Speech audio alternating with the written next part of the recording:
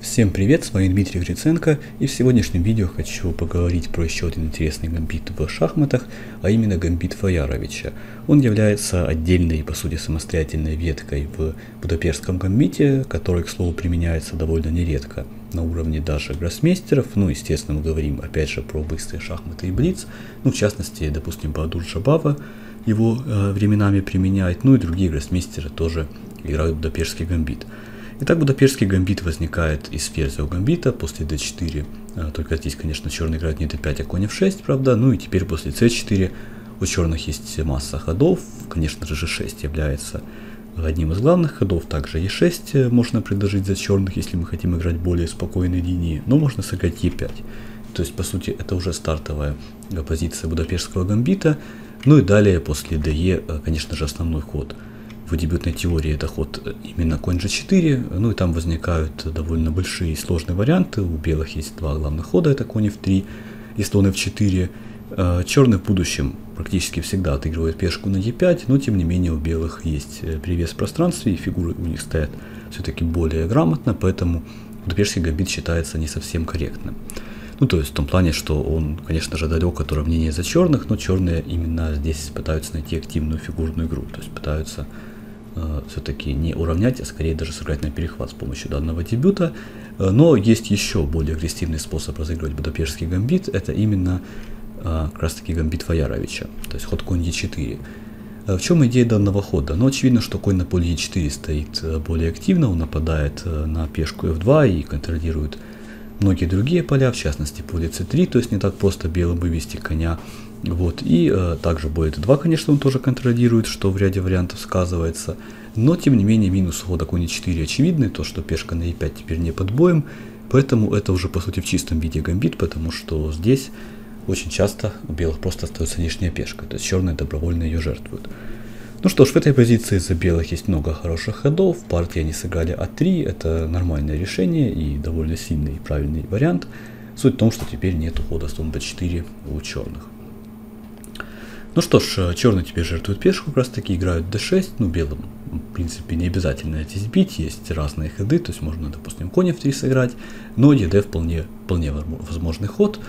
Итак, ед слон d6, то есть черные добились определенного э, прогресса, то есть оно жертвы пешки, они вывели две свои легкие фигуры, они открыли линию d, и в частности уже сейчас есть тактическая идея, которая, к слову, данной партии была реализована. Ну и добавлю, что подобная идея была реализована в будущем и в других партиях, то есть это партия 1932 года, но и в дальнейших партиях э, во многих э, эта ловушка встречалась, она очень популярная в этом дебюте, она возникает после хода g3.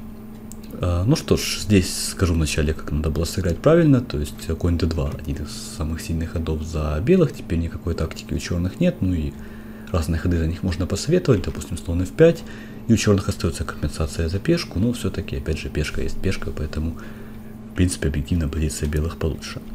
Вот, ну а g3 проигрывает форсированно, здесь следует красивая комбинация, она в целом не очень сложная. Это комбинация с жертвой двух фигур, после которой э, черные за эти две фигуры получают ферзя.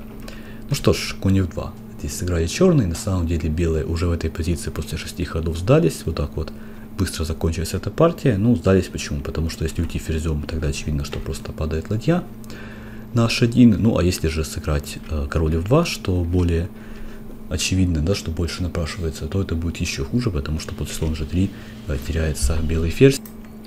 То есть, например, э, белые играют на данной позиции hg, и после ферзь d1 у черных ферзь за две легкие фигуры, но тут даже важно, кроме того, что у черных потеряльный перевес, что еще и все белые фигуры стоят на месте. У черных тоже, конечно, кроме ферзя, все фигуры на начальных позициях, но зато эти фигуры быстро выходят в бой. И плюс, опять же, что самое главное в позиции э, это положение короля. Так вот здесь положение белого короля довольно плохое. Ну и, конечно же, здесь позиция объективно у черных просто выигранная. То есть можно, конечно, белыми бороться, но белые сдались еще раньше, после хода конь 2. Поэтому в данную ловушку очень важно не попадаться, и вот в этой позиции, которая является одной из ключевых в гамбите Фаяровича, нужно сыграть по-другому, допустим, конь d2 за белых. Э, ну что ж, мы с вами идем дальше, посмотрим еще одну короткую партию в гамбите Фаяровича. Э, дальше тоже здесь будут интересные события. Так, d4, конь f6, c4, e5, de, конь e4. А, то есть в этой партии белые сыграли уже по-другому, а именно конь f3. Ну, хороший развивающий ход, почти в любом дебюте белый конь выходит именно на поле f3. Ну что ж, далее последовало конь c6, конь d2, конь c5. Конь c5, кстати, отдельно отмечу данный ход. Это ход далеко не очевидный для многих, потому что кажется, что ну, логично сыграть просто конь d2, не терять темп на уход коня, но дело все в том, что черные находятся без пешки в данной позиции, и практически всегда в такой ситуации размены будут в пользу того, у кого пешка лишняя. То есть чем меньше фигур, тем проще играть, и в целом э, стратегия белых это поменяться, перейти в эндшпиль и реализовать лишнюю пешку. Поэтому ход конь c5 такой вот внешне довольно странный, но на самом деле э, позиционно очень грамотный. Ну что ж, конь c5, далее последовало g3, ну и здесь э, черные решили сразу показать свои агрессивные намерения, сыграли h5. На самом деле э, черным можно сыграть по-другому, допустим, можно сразу же отдать пешку, ну то есть по сути даже не пытаться выигрывать пешку e5 и сыграть d6, вынуждая белых фактически бить, иначе они пешку теряют. И здесь очень важно, что он бил не слоном, как опять же таки кажется довольно логично, а именно ферзем, потому что теперь у белых нет разменных ферзей, линия d закрыта, э, закрыта конем, да, и далее план черных это уйти в длинную рокировку и создать давление по вертикали d, ну и в перспективе на корейском фланге тоже, то есть та же идея с h5, э, конечно же, тоже у черных есть, то есть острая сложная позиция возникает, здесь э, пока, в общем-то, такие тут осложнения в центре и при случае на фланге, там, ферзем, королевском, да, она лишняя пешка не так уж и чувствуется. Поэтому d6, я думаю, что ход более оправданный, и по теории тоже он считается одним из самых сильных. Ну, h5 тоже такой чисто облицовский, можно сказать, ход, он вполне имеет право на жизнь. Ну что ж, последовал h5, белые сыграли a3. Вполне возможный ход. Идея в том, что подготовить b4, или на ферзе 7 как раз таки ход b4 и последовал.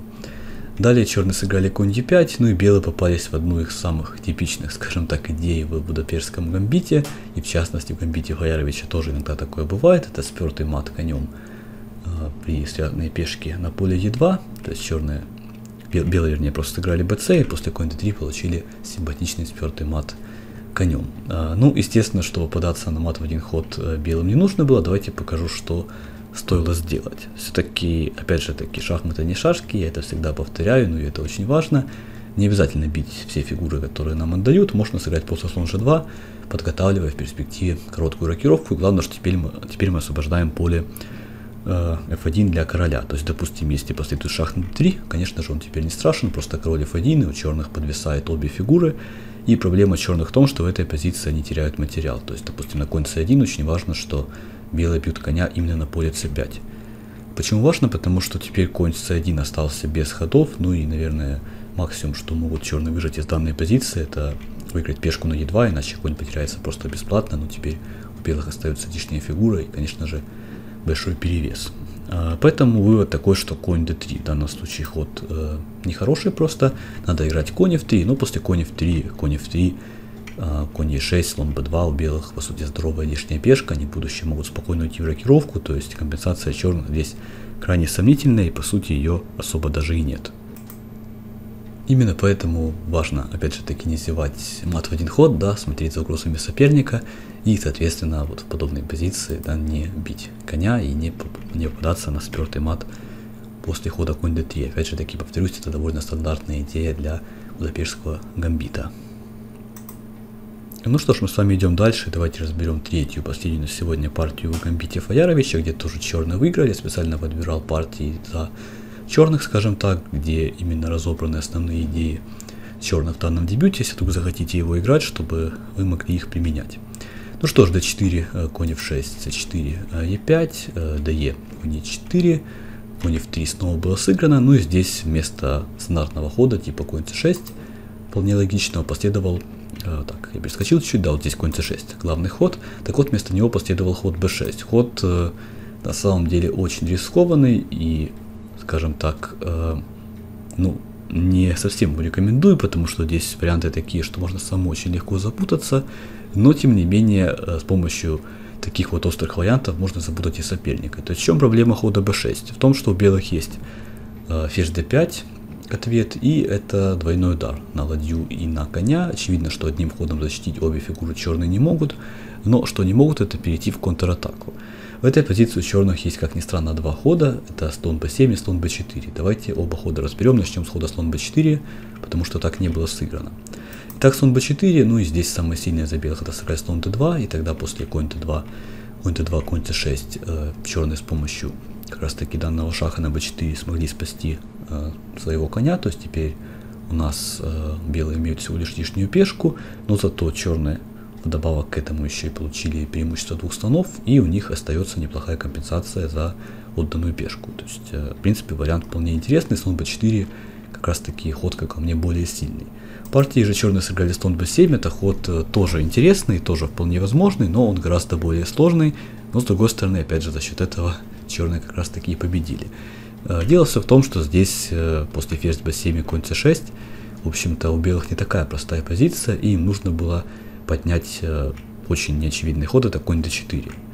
Конь d4 здесь я набросал очень много вариантов, не буду сильно в них вдаваться, потому что иначе видео, наверное, сильно затянется, но э, суть в том, что здесь при правильной игре, в общем-то, возникают головоломные осложнения, если поставить первую линию компьютера, то варианты многие очень-очень трудные, и, конечно, найти их за доской без подготовки почти нереально. Ну, вот, допустим, здесь конь d4 уже ход трудный был, да, за белых. Конь d4 совсем не напрашивается, но идея какая, что если черный играет конь d4, то после ферзь d4 белые, в общем-то, просто э, возвращаются ферзем назад, у них остается лишняя фигура и выигранная позиция. То есть в этом идея хода конь d4. Ну, конечно же, не обязаны, э, в общем-то, черные забирать этого коня. И самый сильный ход это слон b4. Опять же таки, все та же идея.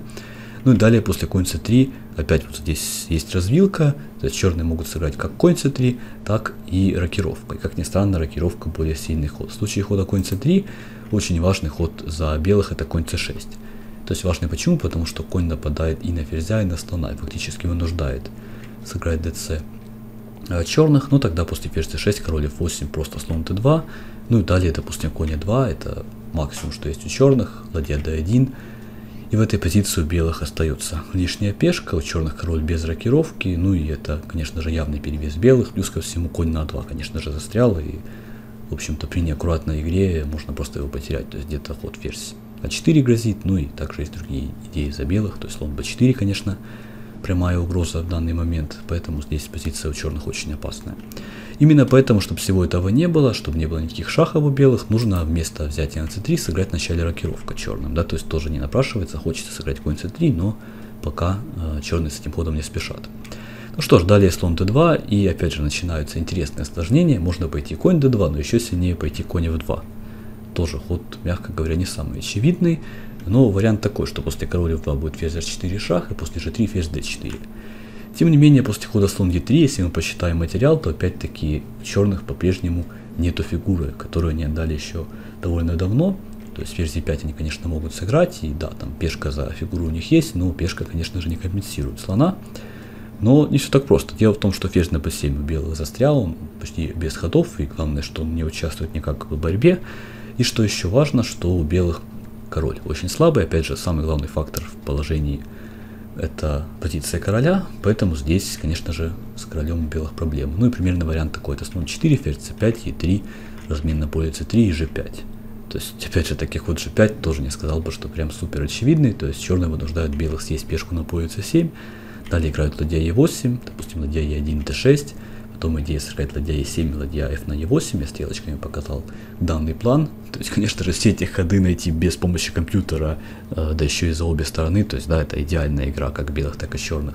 Я думаю, что практически невозможно, даже на топ уровне, э, на гроссмейстерском я имею в виду. Ну, вот такие варианты головоломные здесь возможны. То есть, все-таки я к тому говорю, что данный вариант э, в целом за черных имеет право на жизнь, но вам нужно хотя бы примерно понимать, что здесь делать, ну и, конечно же, очень хорошо считать тактику. Ну и, в частности, в общем-то, уметь атаковать на короля. В принципе, это связано, да, тактика и атака на короля. Обычно при атаке на короля тактика используется.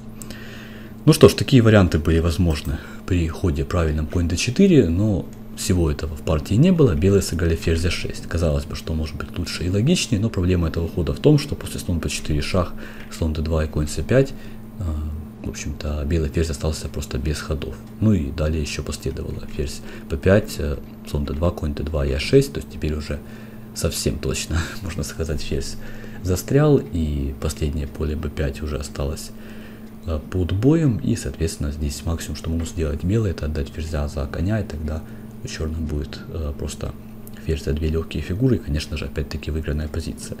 Поэтому, в принципе, что могу сказать, что ход b6 в гамбите Фаяровича, еще раз покажу этот момент, он э, тоже заслуживает внимания, потому что мы заманиваем белых на ферзь d5, и ферзь d5, конечно же, очень многие будут играть, особенно те, кто впервые видят данную позицию, потому что могут просто люди подумать, что вы что-то зевнули, но вот после ферзь d5, как видно, и слон b4, и даже слон b7, оба этих хода имеют право на жизнь, возникают очень острые позиции, где можно запутать соперника и довольно быстро выиграть, как здесь вот 10 ходов черные победили. То есть сегодня мы смотрели очень короткие партии, где белые просто а, не вышли из дебюта. Ну что ж, надеюсь, что вам понравился гамбит Ваяровича. Я думаю, что еще сниму хотя бы одно видео про данную тему, потому что очень острые и интересные здесь позиции возникают, и мне тоже было интересно подбирать материал по данной теме. Так что тогда всем спасибо за внимание и до скорых встреч в новых э, видеороликах.